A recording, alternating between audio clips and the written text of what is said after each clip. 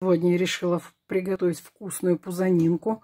Пузанинка получилась толстая, с прожилками, мяско. И поэтому я сразу решила приготовить вкусняшку. Помыла, добавила сюда лавровый лист, перец горошек душистый и перец черный горошек. Сейчас она у меня поварится минут 30.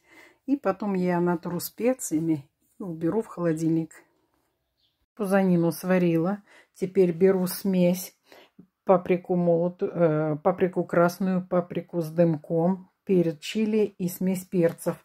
Делаю вот такое вот сочетание.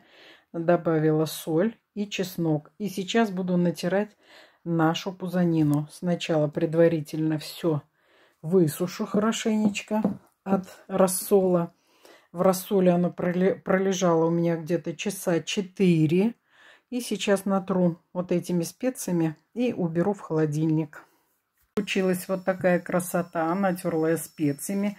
Сейчас заверну в фольгу, э, положу в блюдо и оставлю до утра в холодильнике.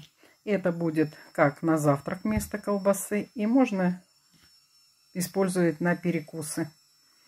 Всем приятного аппетита. Что получится, завтра покажу. Полежит в холодильнике. Ну, вот такая получилась пузанинка.